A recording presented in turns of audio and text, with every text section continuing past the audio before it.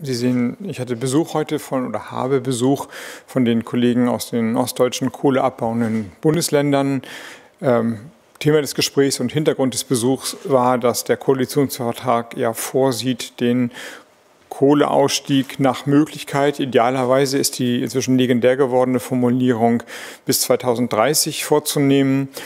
Das bedeutet, und dessen bin ich mir vollumfänglich bewusst, möglicherweise für die betroffenen Regionen nochmal eine weitere Zumutung. Ich habe deutlich gemacht, dass die Versorgungssicherheit gewährt sein muss, dass das völlig außer Frage steht. Sollte es gelingen, und ich gehe davon aus, dass da jedenfalls einiges noch möglich ist, die über das bestehende Gesetz, das ja noch sehr jung ist, vereinbarten Zeitzahlen nach vorne zu schieben, bedeutet das selbstverständlich auch, dass auch die Maßnahmen zur Stärkung der Region nach vorne geschoben werden müssen. Das heißt also den Aufbau von neuen Arbeitsplätzen, den, so sagt man ja immer politisch und nennt es Strukturwandel, aber in Wahrheit ist es ja ein Verlust von Arbeitsplätzen auf der einen Seite und ein Aufbau von Arbeitsplätzen auf der anderen Seite, dass man das mit großer Kraft und großer Macht angeht. Alleine für den Bund kann ich sagen, dass seitdem das Gesetz, das Strukturstärkungsgesetz erlassen wurde, in 2020 200 Projekte schon identifiziert wurden, aber sie müssen dann eben auch umgesetzt werden. Wir sind also schlau beraten, wenn die Arbeitsplätze, die neuen Arbeitsplätze da sind, bevor die alten dann wegfallen würden. Und ähm, entsprechend heißt es dann auch, dass der Bund die finanziellen Zusagen, die Pflichten, die er sich auferlegt hat, mit Blick auf das Jahr 2038 dann zu den Jahren, die wir dann vereinbaren, idealerweise 2038 erfüllen muss. Auf der anderen Seite ähm, wissen wir auch, dass im jetzigen Rahmen diese Ziele, nämlich das Ziel 2030 zu erreichen, nicht möglich ist. Und da hat der Habeck äh, zu Recht darauf hingewiesen, dass er äh, vorbereitet äh, ein pa Gesetzespaket, äh, was zu Planungsbeschleunigung und äh, Beschleunigung auch an vielen Stellen äh, von Umsetzung infrastruktureller Maßnahmen führen könnte. Darauf sind wir gespannt, weil in dem jetzigen Rahmen, da sind wir uns alle einig, bestimmte sehr ja, nach vorne gezogene Termine nicht möglich sind.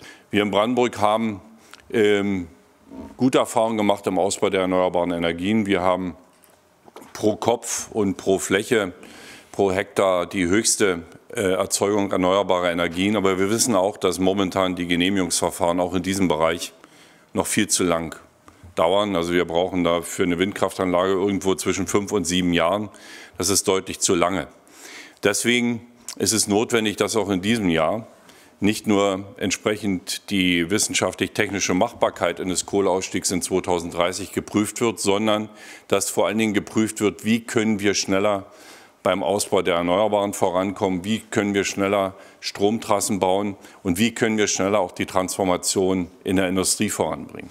Wenn wir bei den Zeiten bleiben, die wir jetzt haben, wird es nicht möglich sein, diese Ziele zu erreichen. Äh, beim Atomausstieg und auch bei der Frage, wie es mit der Kohleverstromung in Deutschland weitergehen soll, hat die frühere Bundesregierung einen breiten Ansatz gewählt.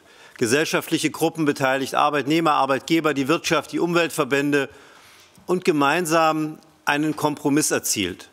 Das Ziel war, einen großen Konflikt zu klären und damit zu einer Befriedung zu führen. Jetzt hat diese neue Bundesregierung diesen äh, Kompromiss ein Stück weit aufgekündigt, wird es anders machen. Wir werden sehen, was daraus wird.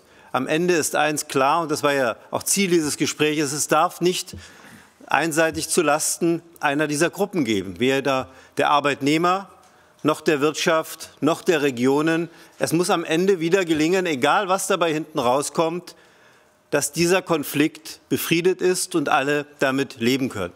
Denn es geht darum, effizient das Geld des Bundes, der Länder einzusetzen, dass wirklich neue Arbeitsplätze entstehen können. Natürlich auch soziale Infrastruktur. Aber das A und O sind neue Arbeitsplätze. Und viele der Kriterien, die in den Gesetzen drinstehen, sind nicht geeignet, um dieses Ziel zu erreichen. Hier braucht es eine Nachsteuerung.